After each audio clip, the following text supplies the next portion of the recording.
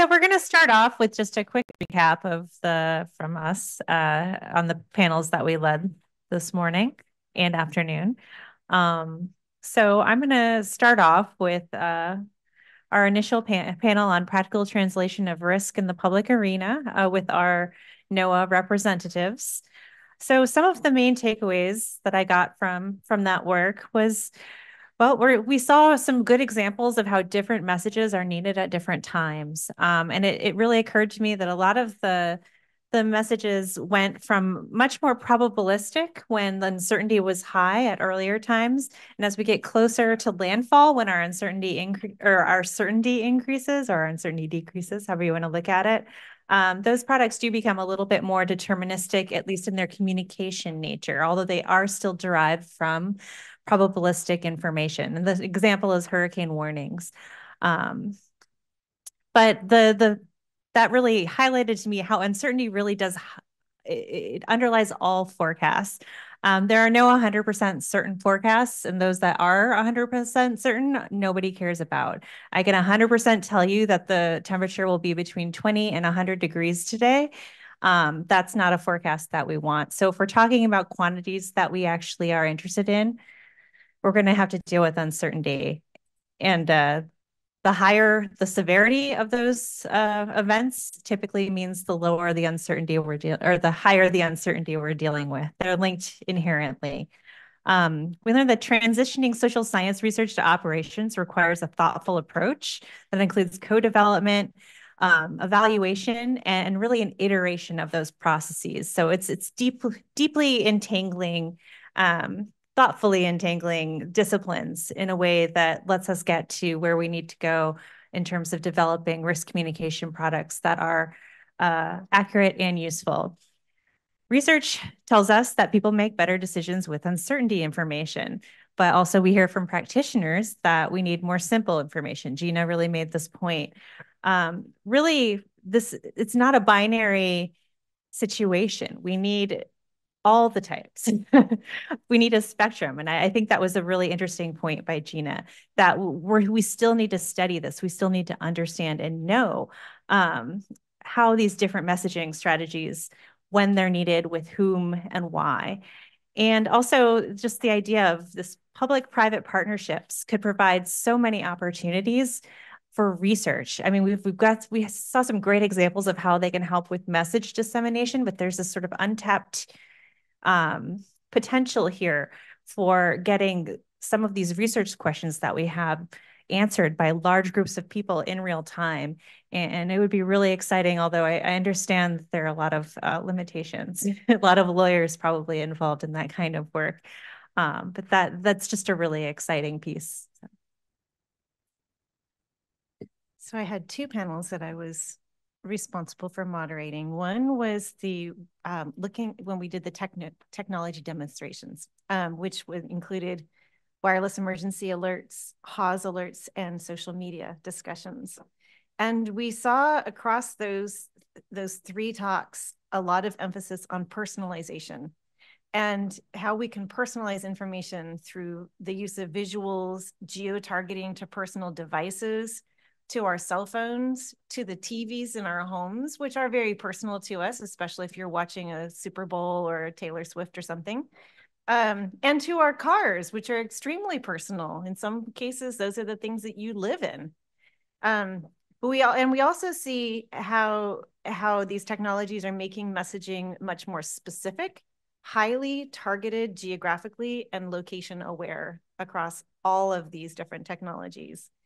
Um, we are also, um, I was impressed by how each of the groups, each of the people who spoke talk about taking into consideration how people consume information, use information and need information and centering on the individual consumer and um, their needs for information. Um, and also the social media, that it's it become incredibly fragmented and we are going to need to consider how to navigate that in the future.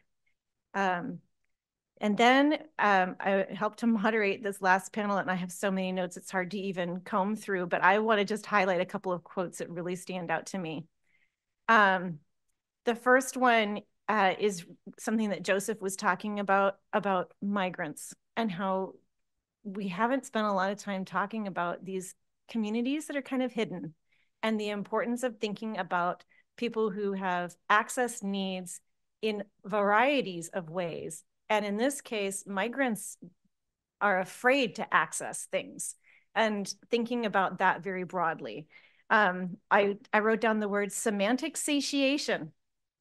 Um, it's a new word for me, but thinking about how we become so accustomed to hearing words, we may not, they might, may not be meaningful to us. And that's in contrast with words that are so filled with jargon that they can't be translated.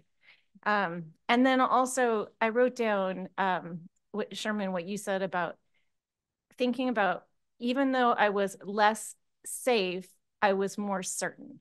And the importance of recognizing that certainty for some people is overriding the safety that they might be going into.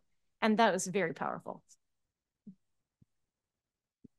So I have the pleasure of summarizing the uh, messages from Wendy, Lace, and Jessica.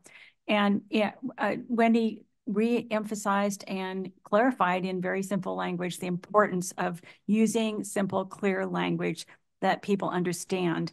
And uh, that her main point was that you need to talk with your intended audiences to learn what they think. And this echoes everything that we've heard from our previous panels and from Andrea and Jeanette.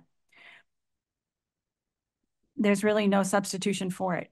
Uh, Lace uh, focused on a number of things that ultimately um, cause ways in which our communications, visual communications can cause errors, especially in communicating uncertainty and talked uh, as an example about um, borders on designs and how intervals create categories. And then people understand these categories as having meaning. And, and the general statement that she concluded with is that convention misalignments cause errors. So it's really important for, for, us to understand what those conventions are. How do we make meaning of visualizations in the real world? What kinds of visual perceptions are, um, do we use on a conventional basis? And then how are the products that are being created aligning with those? This goes back again to understanding audiences. And Jessica then um, teed up very closely with what Lace had talked about to talk about um, how people understand uncertainty in a variety of ways in visual communications.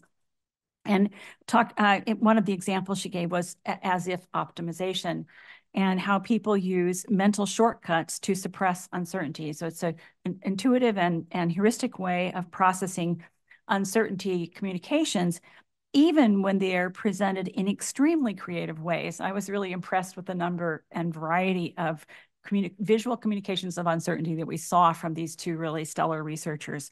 So they both uh, brought home again the importance of understanding how people understand and make meaning of these visualizations and what they're doing with them and raise a lot of questions about how uh, people use heuristics and how we can work with the heuristics that people use in their thinking as opposed to against the heuristics, which um, was clarified as something that's pretty much hopeless. So the, the closing point here was that visuals are extremely powerful and it's important to start collaborating with social scientists very early. And a side point that was made uh, uh, by Lace is that you need to understand the technologies you're working with when you're visualizing as well.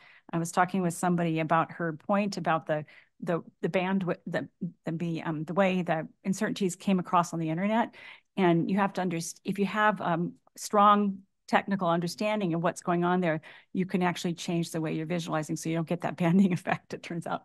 Anyway, so another, this, this again makes the point that it's extremely important to partner with different uh, populations, different audiences, different decision makers, and with different, if you're going to in integrate the science, which we hope we will, and we think that advances what we're doing, to integrate different kinds of sciences and even among the different kinds of technology, uh, tech, technology sciences and social sciences as well. So is uh, Gabrielle with us? No, okay. So I think we are ready with that to move into our roundtable, which should provide a really really exciting way of integrating across the two days.